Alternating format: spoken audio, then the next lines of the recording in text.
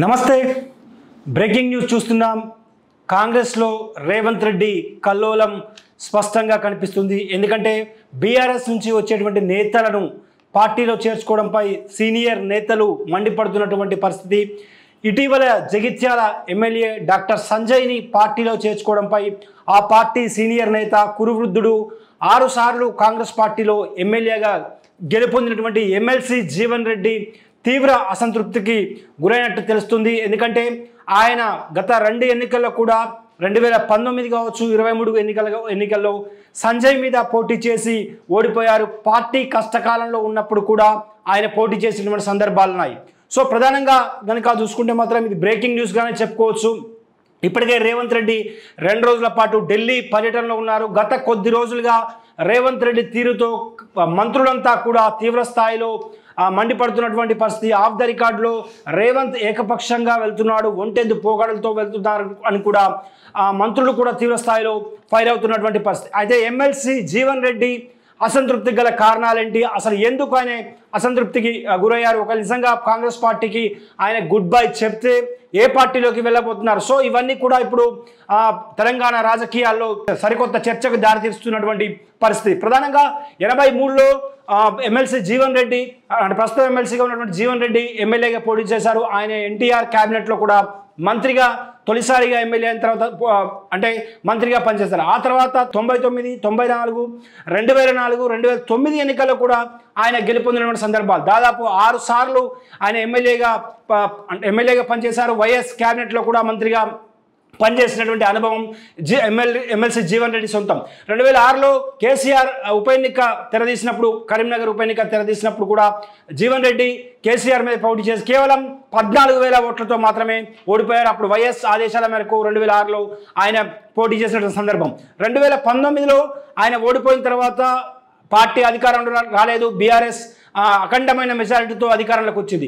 So అప్పుడు కూడా graduates ఎన్నికల ఎమ్మెల్సీ ఎన్నికల్లో ఆయన పోటీ చేసి ఒంటరిగా పోటీ చేసి బీఆర్ఎస్ను వంద సీట్ల తో అధికారంలో ఉన్నటువంటి బీఆర్ఎస్ను ఎదుర్కొని ఆయన పట్టభద్రుల ఎమ్మెల్సీ ఎన్నికల్లో ఎమ్మెల్సీ జీవన్ రెడ్డి గెలుపొందారు. ఢిల్లీ రాజకీయాలు తెలియనటువంటి జీవన్ రెడ్డి చాలా సౌమ్యుడిగా ఆ, పేరుంది. ఎందుకంటే ఆయన అంటే చాలా అందరికీ చాలా గౌరవం కాంగ్రెస్ పార్టీలో అని చెప్పుకోవచ్చు. నలభై ఏళ్ళ సుదీర్ఘ రాజకీయ అనుభవం ఉన్నటువంటి ఎమ్మెల్సీ జీవన్ రెడ్డి కాంగ్రెస్ ముఖ్యమంత్రి రేవంత్ రెడ్డి తీరుతో తీవ్ర మనస్తాపానికి గురైనట్లు తెలుస్తుంది. ఎందుకంటే జగిత్యాల ఎమ్మెల్యే సంజయ్ కుమార్ చేరిక ఇప్పుడు పార్టీలో దుమారం రేపుతున్నటువంటి పరిస్థితి. ప్రస్తుతం మనం పెట్టుకున్న తమ్ముళ్ళు కూడా అదే. కాంగ్రెస్లో రేవంత్ రెడ్డి కల్లోలం MLC Jeevan Reddy party goodbye. ప్రస్తుతం మనం చూడొచ్చు. ఎందుకంటే సంజయ్ జగిత్యాల ఎమ్మెల్యే కేసీఆర్ కుటుంబానికి ముఖ్యంగా ఎమ్మెల్సీ కవితకు అత్యంత సన్నిహితుడిగా పేరుంది. రెండు వేల పంతొమ్మిది ఎన్నికల్లో సంజయ్ గెలుపును కవిత తన సొంత గెలుపుగా భావించి ప్రచారం చేసింది. రేవంత్ రెడ్డి ఆయన కండువా కప్పుకున్నటువంటి దృశ్యాలు చూడొచ్చు. పక్కనే మంత్రి పొంగులెడ్డి కూడా ఉన్నారు. సో ఈ అంటే ఈ ఈ ఎపిసోడే జీవన్ రెడ్డి అలకకు కారణమైంది. ఆయన తీవ్ర మనస్తాపానికి గురయ్యారు. నిన్న ఆయన ముఖ్య కార్యకర్తల సమావేశాన్ని కూడా ఏర్పాటు చేసుకున్నారు. తనకు తెలియకుండా అంటే స్థానిక ఎమ్మెల్యే పార్టీలో చేర్చుకోవడం ఏంటని కూడా ఆయన అసంతృప్తి వ్యక్తం చేశారు. అయితే కేవలం సంజయ్ విషయంలో కాదు గతం అదే రెండు మూడు రోజుల క్రితం పోచారం శ్రీనివాస్ రెడ్డి పార్టీలో జాయిన్ అయిన త- తర్వాత కూడా ఆయన మీడియా ముఖంగానే ఆన్ రికార్డు ఆయన మాట్లాడిన సందర్భం చూసాం ఈ పార్టీ ఫిరాయింపులను తాను ప్రోత్సహించను ఇలాంటివి మంచి పద్ధతి కాదు అని కూడా ఆయన ఆన్ రికార్డుగా మాట్లాడిన సందర్భం చూసాం నిజామాబాద్ జిల్లా బాన్సువారకు చెందినటువంటి ఎమ్మెల్యే పోచారం శ్రీనివాస్ రెడ్డి చెప్పుకోవచ్చు. ఎందుకంటే ఇటీవలే నిజామాబాద్ ఎంపీగా కూడా ఎమ్మెల్సీ జీవన్ రెడ్డి కంటెస్ట్ చేశారు. అప్పుడు పోచారం శ్రీనివాస్ రెడ్డి కావచ్చు ఇదే జగిత్యాల ఎమ్మెల్యే సంజయ్ కావచ్చు. బీఆర్ఎస్ ఎమ్మెల్యేగా ఉన్నారు. బీఆర్ఎస్ అభ్యర్థికి సపోర్ట్ చేశారు. కేవలం నెల తిరగక ముందు పదిహేను నెల తిరగక ముందే వారిద్దరు కూడా పార్టీలో చేర్చుకోవడంపై కూడా ఆయన తీవ్ర అసంతృప్తికి లోనయ్యారు పోచారం శ్రీనివాసరెడ్డి జాయిన్ అయినప్పుడు కూడా నిజామాబాద్ జిల్లాకు చెందినటువంటి సీనియర్ నేతలు పెద్ద సుదర్శన్ సు- సుదర్శన్ రెడ్డి కావచ్చు ఇతర నేతలు కూడా చాలా అంటే అసంతృప్తికి గురైనట్లు కూడా వార్తలు వినిపిస్తున్నాయి. సో ఈ నేపథ్యంలో నిన్న ముఖ్య ముఖ్య కార్యకర్తల సమావేశం నిర్వహిస్తున్న సమయంలోనే అక్కడికి జీవన్ రెడ్డి జీవన్ రెడ్డిని అంటే ఆయనతో మాట్లాడడానికి రాయబారంగా మంత్రులు శ్రీధర్ బాబు అదేవిధంగా ప్రభుత్వ విప్ వేములవాడ ఎమ్మెల్యే ఆది శ్రీనివాస్ అదేవిధంగా అడ్లూరి లక్ష్మణ్. వీళ్ళు ముగ్గురు కూడా జీవన్ రెడ్డితో భేటీ అయ్యారు. జీవన్ రెడ్డి శ్రీధర్ బాబు ముందే చాలా సీరియస్గానే రియాక్ట్ అయినట్టు తెలుస్తుంది. ఎందుకంటే ఇద్దరు కూడా వైఎస్ క్యాబినెట్లో మంత్రులుగా పనిచేసినటువంటి అనుభవం ఉంది. నలభై ఏళ్ళ సుదీర్ఘ రాజకీయ అనుభవం ఉన్నటువంటి జీవన్ రెడ్డి పార్టీ మారుతారన్న ఊహాగానాల నేపథ్యంలో ఆయనే శ్రీధర్ బాబు భేటీ అయ్యారు.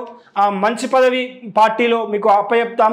ఒక మీకు ఇన్ఫర్మేషన్ ఇవ్వకపోవడం తప్పే. అది కొంత అంటే కమ్యూనికేషన్ గ్యాప్ వల్ల వచ్చిందని కూడా జీవన్ రెడ్డికి నచ్చజెప్పేటువంటి ప్రయత్నం శ్రీధర్ బాబు చేయడం జరిగింది. ఆయన కూడా ఆయన అసంతృప్తికి గురై తన నిర్ణయం తర్వాత చెప్తారని కూడా శ్రీధరబాబుకు చెప్పినట్లు కూడా మనకు అక్కడి నుంచి సమాచారం అందుతున్న పరిస్థితి.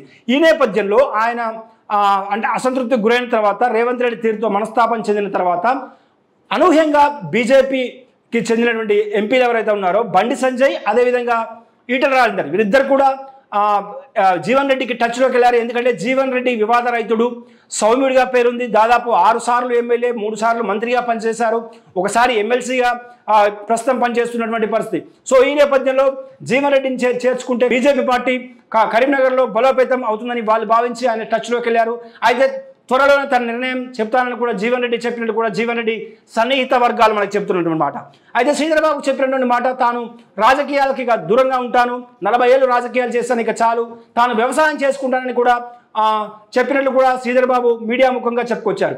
సో కేవలం ఎమ్మెల్సీ జీవన్ రెడ్డి మాత్రమే కాదు అనేక మంది సీనియర్లు కూడా రేవంత్ తీరుతో తీవ్ర మనస్తాపనకు గురై అంటే వాళ్ళు అంటే ఆన్ ఆన్ రికార్డులో మాట్లాడకపోవచ్చు కానీ ఆఫ్ ద రికార్డులో మాత్రం తీవ్ర అసంతృప్తితో ఉన్నట్లు తెలుస్తుంది. అయితే మొత్తానికి మాత్రం ఎమ్మెల్సీ జీవన్ రెడ్డి పార్టీకి గుడ్ బై చెప్పే యోచనలో ఉన్నట్లు మాత్రం తెలుస్తుంది. అది బీజేపీలోకి వెళ్తారా? మరి ఆయన శ్రీధర్బాబు చెప్పినట్లు ఆయన రాజకీయాలకు దూరంగా ఉండి వ్యవసాయం చేసుకుంటారా అన్నది కూడా చూడాల్సింది. ఇక మిగతా మంత్రుల విషయానికి వస్తే అంటే ప్రస్తుతం బీఆర్ఎస్ నుంచి దాదాపు ఐదుగురు ఎమ్మెల్యేలు కాంగ్రెస్ పార్టీలో జాయిన్ కావడం జరిగింది. వారిలో ఖైరతాబాద్కు చెందినటువంటి దానం నాగేందర్ భద్రాచలం చెందినటువంటి తెల్లం వెంకట్రావు అదేవిధంగా తాజాగా Jagtial MLA Sanjay Banswada MLA Pocharam Srinivas Reddy station Ghanpur MLA Kadiyam Srihari వీళ్ళందరూ కూడా పార్టీలో జాయిన్ అయ్యడం జరిగింది.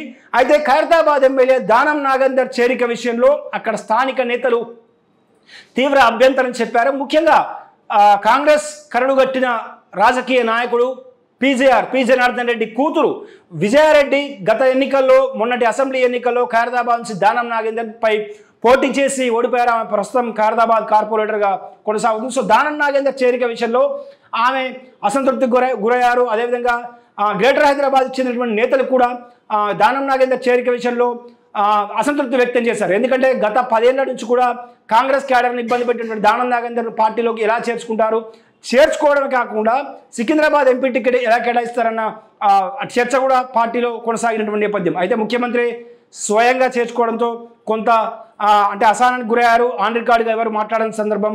సో ఖైరతాబాద్ విషయంలో కూడా ఇదే జరిగింది. అదే విషయానికి వస్తాయి ఇక భద్రాచలం విషయానికి వద్దాం. భద్రాచలం విషయం చూసుకుంటే పార్టీ సీనియర్ నేత అక్కడ ఎమ్మెల్యేగా పనిచేసినటువంటి పోవడం వీరయ్య ప్రస్తు అంటే గతంలో ఎమ్మెల్యే ఉన్నారు. గత గడిచిన ఎన్నికల్లో ఆయన ములుగు నుంచి ప్రాతినిధ్యం వహించారు. ములుగు నుంచి సీతకు టికెట్ ఇవ్వడంతో ఆయన భద్రాచలంకు షిఫ్ట్ అయ్యారు. భద్రాచలం నుంచి ఆయన పోటీ చేసి లాస్ట్ టైం గెలుపొందారు. ఈసారి ఓడిపోయారు తెల్లం వెంకట్రావు బీఆర్ఎస్ అభ్యర్థి చేతిలో.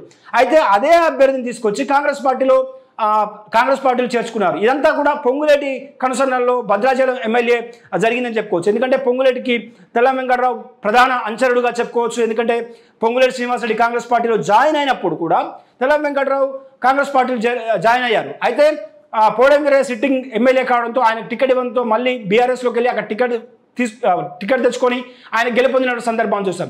దీంతో తీవ్ర అసంతృప్తికి గురయ్యారు పోడం వీరయ్య ఎందుకంటే గత పదేళ్ళ నుంచి కూడా బీఆర్ఎస్ నేతలు ఎంత ఒత్తిడి చేసినా కూడా దాదాపు పదిహేడు మంది కాంగ్రెస్ పార్టీ ఎమ్మెల్యేలు బీఆర్ఎస్లోకి వెళ్ళినప్పటికీ కూడా పోడం వీరయ్య పార్టీని అంటి అంటిపెట్టుకునే ఉన్నారు తప్ప ఎక్కడా కూడా ఆయన పార్టీ మారినటువంటి సందర్భాలు లేవు. సో ఆయన కూడా తీవ్ర మనస్తాపం చెందినటువంటి పరిస్థితి. ఆయన ఒక పార్టీ కార్యక్రమాలకు కొద్ది రోజులుగా దూరంగా ఉంటున్నటువంటి పరిస్థితి. ఇక బాన్సువాడ పోచారం శ్రీనివాసరావు విషయం గురించి తెలిసిందే. సుదర్శన్ రెడ్డి అక్కడ నుంచి మంత్రి పదవి ఆశిస్తున్నారు. సో ఆయన తీవ్ర స్థాయిలో అంటే విమర్శలు గుప్పిస్తున్నటువంటి పరిస్థితి. ఎందుకంటే ఆ, సు- పోచారం శ్రీనివాసరెడ్డిని ఏ ఏ- ఎందుకు చేర్చుకున్నారు? ఆ, గత ఎన్నికల్లో మనం తీవ్ర స్థాయిలో ఆయనపై విమర్శలు గుప్పించాము. అలాంటి వ్యక్తిపై ఎందుకు చే- ఎందుకు చేర్చుకోవాల్సి వచ్చింది అని కూడా ఆఫ్ ది ఆఫ్ ద రికార్డులో మాట్లాడినటువంటి సందర్భాలు చూస్తున్నాం. ఇక సంజయ్ విషయం తాజాగా జీవన్ రెడ్డి ఆ, అలక కారణమైంది. ఇక మరొక అది చూస్తుంటే స్టేషన్ కనుపూర్ విషయానికి వస్తే కడియం శ్రీహరి కడియం శ్రీహరిని చేర్చుకోవడంపై కొండా సురేఖ ఆ జిల్లా మంత్రి అదేవిధంగా జిల్లాకు చెందిన కొందరు కీలక నేతలు కూడా కడియం శ్రీహరి చేరికను వ్యతిరేకించారు. అయినప్పటికీ కూడా ఆ స్టేషన్ గన్పూర్ ఇన్ఛార్జ్ ఇందిరా కూడా ఇందిరా కూడా వ్యతిరేకించినప్పుడు వ్యతిరేకించినప్పటికీ కూడా ముఖ్యమంత్రి పిసిసి స్థాయిలో నిర్ణయం జరిగింది కాబట్టి ఎవరు కాదనలేకపోయారు చేర్చుకోవడమే కాకుండా కడియం శ్రీహరి కూతురు కడియం కావ్యకు ఎంపీ టికెట్ ఇచ్చారు ఆమె వరంగల్ ఎంపీగా కొనసాగుతున్నటువంటి నేపథ్యం కనిపిస్తుంది. సో ఎమ్మెల్యేల చేరికలు అంటే బీఆర్ఎస్ ఎమ్మెల్యేల చేరికలు కాంగ్రెస్లో చిచ్చు రేపుతున్నాయని చెప్పుకోవచ్చు. ఒక రకంగా రేవంత్ అంటే కల్లోలం మొదలైందని చెప్పుకోవచ్చు. ఇక సీనియర్ మంత్రులకు వచ్చినటువంటి ఇబ్బందులు ఏంటి ప్రస్తుతం సీనియర్ మంత్రుల ఫోటోలు కూడా మనం చూడవచ్చు కోమటిరెడ్డి వెంకటరెడ్డి కొండా సురేఖ శ్రీధర్ బాబు బట్టి విక్రమార్క ఉత్తమ్ కుమార్ రెడ్డి. సో కొండా సురేఖ విషయం కనుక తీసుకుంటే కేవలం కడియం సియరి విషయం కాకుండా ఇటీవల ఎర్రబెల్లి దయాకర్రావుతో కాంగ్రెస్ పార్టీ మంత్రాలు జరిపింది. ఆల్రెడీ ముఖ్యమంత్రి స్థాయిలో చర్చలు పూర్తయ్యాయి. ప్రభుత్వ సలహాదారుగా ఉన్నటువంటి రేవంత్ రెడ్డికి అత్యంత సన్నిహితుడిగా టీడీపీలో ఆయనతో కలిసి పనిచేసినటువంటి వేం నరేందర్ రెడ్డి ఇదంతా మధ్యవర్తిత్వం నిర్వహించారనేది కూడా ఒక టాక్ వినిపిస్తుంది. సో ఎర్రబెల్లితో దాదాపు మంతనాలు పూర్తయ్యాయి. ఎర్రబెల్లి దయాకర్ రావును పార్టీలోకి తీసుకొచ్చేందుకు శతవిధా ప్రయత్నాలు చేస్తున్నారు. అయితే ఎర్రబెల్లి దయాకర్ రావుకు కొండా సురేఖకు మధ్య తీవ్ర స్థాయిలో అంటే వాళ్ళిద్దరి మధ్య వర్గ విభేదాలు ఎప్పటి నుంచో ఉన్నాయి. రాజకీయ వైరం దాదాపు నలభై ఏళ్ళ నుంచి కొండా మురళి ఫ్యామిలీ వర్సెస్ ఎర్రబెల్లి దయాకర్ రావు మధ్య ఉన్నటువంటి సందర్భాలున్నాయి టీడీపీ హయాంలో దయా దయాకర్ రావు వర్గం కొండా మురళి మీద కే కేసులు పెట్టారు. ఫో పోటా కేసు లాంటివి కూడా పెట్టారు. అసెంబ్లీలో కొండా సురేఖ వైఎస్ ముఖ్యమంత్రిగా ఉన్నటువంటి సందర్భంలో ఏడ్చినటువంటి సందర్భాలు చూసాం. అంత వైరం ఉన్నటువంటి అంటే కుటుంబ నేపథ్యాల నేపథ్యంలో ఎర్రబెల్లి దయాకర్ పార్టీలోకి ఎలా చేర్చుకుంటారనేది కొండా సురే కొండా సురేఖ కొండా మురళి వర్గం చేస్తున్నటువంటి వాదన. సో ఇప్పటికైతే చర్చలు పూర్తయ్యాయి ఇంకా ఎర్రబెల్లి దయాకరావు పార్టీలు చేరలేదు. సో దీంతో ఆమె తీవ్ర స్థాయిలో అసంతృప్తితో వ్యక్తం చేస్తున్నటువంటి పరిస్థితి. ఇక మరొక విషయానికి వస్తే దుద్దిల శ్రీధరబాబు ప్రస్తుతం క్యాబినెట్ ప్రస్తుత క్యాబినెట్లో చాలా కీ రోల్గా పోషిస్తున్నటువంటి వ్యక్తి. శ్రీధరబాబు ఆ విషయానికి వస్తే ఇటీవల ముప్పై రెండు నామినేటెడ్ పోస్టుల భర్తీ జరిగింది ఎంపీ ఎన్నికలకు ముందు. దాదాపు అందులో కరీంనగర్ చెందినటువంటి మంత్రి పొన్నం ప్రభాకర్ చెప్పినటువంటి వ్యక్తులకే కరీంనగర్ పదవులు ఇచ్చారనేది శ్రీ శ్రీధరబాబు వర్గం చెబుతున్న వా- వాదన. శ్రీధరబాబు డైరెక్ట్గానే బహిరంగంగానే అసంతృప్తి వ్యక్తం చేశారు. సో దీంతో కొన్ని అంటే శ్రీధరబాబు చెప్పినటువంటి పేర్లు ఏవైతే ఉన్నాయో అవన్నీ కూడా పెండింగ్లో పెట్టారు. ఇప్పుడు హైకమాండ్ పూర్తిగా ఆ జాబితానే మార్చేయమన్నది కాబట్టి అప్పటి నుంచి కూడా శ్రీధరబాబు కొంత అసంతృప్తితో వ్యక్తం చేస్తున్నప్పటికీ కూడా ఆయన ఎక్కడా కూడా బయటపడ్డాడు ఆయన కూడా వివాద రైతుడు సౌమ్యుడిగా ఆయనకు పేరుంది. ఇక ఉత్తమ్ కుమార్ రెడ్డి విషయానికి వస్తే ఉత్తమ్ కుమార్ రెడ్డి ప్రస్తుతం ఇరిగేషన్ మంత్రిగా కొనసాగుతున్నారు. ఈయన ఇటీవల మేడిగడ్డ కావచ్చు అన్నారం కావచ్చు అదేవిధంగా కాళేశ్వరం ప్రాజెక్టు కావచ్చు ఇవన్నీ కూడా రివ్యూ చేశారు. అక్కడ ఇంజనీర్లతో సమీక్షలు నిర్వహించారు. అయితే తెలంగాణ నీటిపారుదల శాఖ ప్రభుత్వ సలహాదారుగా మాజీ రిటైర్డ్ ఐఏఎస్ అధికారి ఆదిత్యనాథ్ దాస్ను రేవంత్ రెడ్డి నియమించారు. సో ఈ విషయం సంబంధిత శాఖ మంత్రి అంటే ఇరిగేషన్ శాఖ మంత్రిగా ఉన్నటువంటి ఉత్తమ్ కుమార్ రెడ్డి తెలి ఉత్తమ్ కుమార్ రెడ్డికి తెలియకపోవడం ఇక్కడ చెప్పుకోదగ్గ అంశంగా చెప్పుకోవచ్చు. ఆయన మీడియా ముందు మాట్లాడినప్పుడు ఆదిత్యనాథ్ దాస్ను తెలంగాణ ప్రభుత్వ సలహాదారుగా నియమించారంటే ఇంకా నియమించలేదు నాకు తెలియదు అని అనే సమాధానం కూడా ఉత్తమ్ నోటి వెంట రావడం ఇప్పుడు అంటే అప్పట్లో పార్టీలో కలకలం రేపినటువంటి విషయం. ఎందుకంటే కృష్ణా జలాల విషయంలో ఆంధ్రప్రదేశ్ తెలంగాణకు తగాదాలు ఉన్నాయి. కృష్ణా జలాల విషయంలో అప్పటి ఏపీ ఇరిగేషన్ శాఖ కార్యదర్శిగా ఉన్నటువంటి ఆదిత్యనాథ్ దాస్ తెలంగాణ ప్రయోజనాలు గండి కొట్టే విధంగా పనిచేశారనేది ఆదిత్యనాథ్ దాస్ మీద ఉన్నటువంటి ఆరోపణలు. అలాంటి వ్యక్తిని ఎలా ఇరిగేషన్ శాఖ సలహాదారుగా నియమిస్తారు అనేది కూడా ఇప్పుడు కాంగ్రెస్ పార్టీలో కొత్త చర్చకు దారితీసింది. ఉత్తమ్ కుమార్ రెడ్డి కూడా ఇదే విషయాన్ని ఇదే విషయంలో తీవ్ర అసంతృప్తి వ్యక్తం చేశారు. ఇక ప్రధానంగా చూసుకుంటే బట్టి విక్రమార్క ప్రస్తుతం డిప్యూటీ సీఎం హోదాలో ఉన్నారు. ఆయన ప్రస్తుతం ప్రభుత్వంలో నెంబర్ టూగా కొనసాగుతున్నారు. అయితే రేవంత్ రెడ్డి ఏకపక్షంగా వెళ్తున్నారు ఒంటెద్దు పోకడలు వెళ్తున్నారని చెప్పి కూడా ఈ మంత్రులంతా కూడా సీనియర్ మంత్రులు ఎవరైతే ఉన్నారో కోన్మటిరెడ్డి వెంకటరెడ్డి కావచ్చు కొండా సురేఖ కావచ్చు శ్రీధర్ బాబు బట్టి విక్రమార్క అదేవిధంగా ఉత్తమ్ కుమార్ రెడ్డి వీళ్ళందరూ కూడా సీనియర్ మంత్రులు వైఎస్ క్యాబినెట్లో వీళ్ళందరూ మంత్రులుగా పనిచేసినటువంటి వాళ్ళే. శ్రీధర్ బాబు కావచ్చు కొండా సురేఖ కావచ్చు వెంకటరెడ్డి అదేవిధంగా ఉత్తమ్ కుమార్ రెడ్డి అప్పట్లో డిప్యూటీ స్పీకర్గా బట్టి విక్రమార్క పనిచేశారు. వీళ్ళందరూ కూడా సీనియర్ మంత్రులు కేవలం వైఎస్ క్యాబినెట్లో కాకుండా గత ప్రభుత్వాల హయాంలో కూడా వీళ్ళు మంత్రులుగా పనిచేసినాడు పనిచేసినటువంటి సందర్భం. సో ఇటీవల జరిగినటువంటి క్యాబినెట్ మీటింగ్ తర్వాత కేవలం ఇద్దరు మంత్రులకే పొంగులేటి శ్రీనివాస్ రెడ్డి అదేవిధంగా శ్రీధర్ బాబులకు మాత్రమే ప్రభుత్వ అధికారిక సమాచారం అంటే క్యాబినెట్ నిర్ణయాలు కావచ్చు ఇతరత్ర ప్రభుత్వం నుంచి వచ్చేటువంటి అధికారిక సమాచారం కేవలం ఇద్దరు మంత్రులు మాత్రమే మీడియాకి ఇస్తారు. మిగతా వాళ్ళు ఇచ్చింది అథెంటిక్ కాదు అని స్వయంగా రేవంత్ రెడ్డి మీడియా ముందు ప్రకటించారు. అదే సందర్భంలో అదే మీడియా సమావేశంలో పక్కనే అంటే రేవంత్ రెడ్డి పక్కనే బట్టి విక్రమార్క ఉత్తమ్ కుమార్ రెడ్డి కోమటిరెడ్డి వెంకరెడ్డి శ్రీధర్ బాబు వీళ్ళందరూ కూడా ఆ మీడియా సమావేశంలో ఉన్నారు. సో దీంతో ఒక్కసారిగా వాళ్ళు అవాక్ అయినటువంటి సందర్భం చూసాం. ఎందుకంటే ఆ ఇద్దరు మంత్రుల పెత్తనం తమపై ఏంటి? తమ సీనియర్ మంత్రులు అని కూడా అంటే వాళ్ళు చెప్పుకొచ్చారు. వాళ్ళిద్దరు కేవలం ఆ ఇద్దరు మంత్రుల పెత్తనం మా మాపై ఎందుకు రుద్దు రేవంత్ రెడ్డి రుద్దుతున్నారు అనేది కూడా వాళ్ళు అంటే ఒక ఒక రకమైనటువంటి అసంతృప్తికి గురైనటువంటి సందర్భాన్ని చూసాం. ఎందుకంటే పొంగులేటి శ్రీనివాసరెడ్డి ప్రస్తుతం రేవంత్ రెడ్డికి ప్రధాన ఆ, అనుచరుడుగా ఉన్నటువంటి పరిస్థితి. పొంగులేటి శ్రీనివాసరెడ్డికి ఒక అంటే ఫస్ట్ టైం మంత్రి అదేవిధంగా ఆయన ఎన్నికలకు ముందే కాంగ్రెస్ పార్టీలో చేరి చేరిపోయారు. ఆయన తొలిసారి ఎమ్మెల్యేగా గెలిపోయారు దీంతో పొంగులేటి శ్రీనివాసరెడ్డికి ఇచ్చేటువంటి ప్రియారిటీ విషయంలో కూడా సీనియర్ మంత్రులు చాలా అంటే చాలా ఆగ్రహంతో ఉన్నట్లు కనిపిస్తుంది. ఇదే విషయాన్ని కూడా కాంగ్రెస్ హైకమాండ్కి ఒక నివేదిక రూపంలో కూడా సీనియర్ మంత్రులు ఇచ్చినట్టు తెలుస్తుంది. సో మొత్తం మీద మాత్రం జగిత్యాల ఎమ్మెల్యే సంజయ్ చేరిక మాత్రం కాంగ్రెస్లో కల్లోలాన్ని రేపుతుందని చెప్పుకోవచ్చు రేవంత్ దుమారం కొనసాగుతుందని చెప్పుకోవచ్చు. ఎందుకంటే ఇప్పటికే రేవంత్ రెడ్డి ఢిల్లీలో ఉన్నారు. దాదాపు సీనియర్ నేతలంతా కూడా సీతక్క కావచ్చు కోమటిరెడ్డి వెంకటరెడ్డి కావచ్చు పొన్నం ప్రభాకర్ కావచ్చు మధుయాష్కి కావచ్చు వీళ్ళంతా కూడా ఢిల్లీలోనే మకాం వేశారు. సో ఇప్పుడు ఈరోజు కానీ రేపు కానీ ఆయన హైకమాండ్ పెద్దలను రేవంత్ రెడ్డి కలిసేటువంటి అవకాశం ఉంది. నామినేటెడ్ నామినేటెడ్ పోస్టుల భర్తీ అదేవిధంగా మంత్రివర్గ విస్తరణ కూర్పుపై కూడా హైకమాండ్తో చర్చించేటువంటి అవకాశాలు ఉన్నాయి. సో ఈ నేపథ్యంలో ఎమ్మెల్సీ జీవన్ రెడ్డి అంశం కూడా తెరపైకి వచ్చేటువంటి అవకాశాలు ఉన్నాయి. ఇక మరో కొద్ది రోజుల్లో పదిహేను నుంచి ఇరవై మంది బీఆర్ఎస్ ఎమ్మెల్యేలు కాంగ్రెస్లో చేరతారన్న ప్రచారం కూడా జరుగుతుంది. అంటే ప్రస్తుతం ఐదుగురు ఎమ్మెల్యేలు జాయిన్ అయితేనే ఇటువంటి ఇటువంటి కల్లోలం కాంగ్రెస్లో చెలరేగుతుంది. మరొక పదిహేను నుంచి ఇరవై మంది ఎమ్మెల్యేలు కనుక కాంగ్రెస్ పార్టీలో చేరితే మరి కాంగ్రెస్ పార్టీ నేతలు ఎట్లా రియాక్ట్ అవుతారు? రేవంత్ రెడ్డి అందరిని కలుపుకుపోతారా? అందరితో చర్చించి పార్టీలోకి మిగతా నేతలను చేర్చుకుంటారా అన్నది కూడా చూడాల్సినటువంటి పరిస్థితి.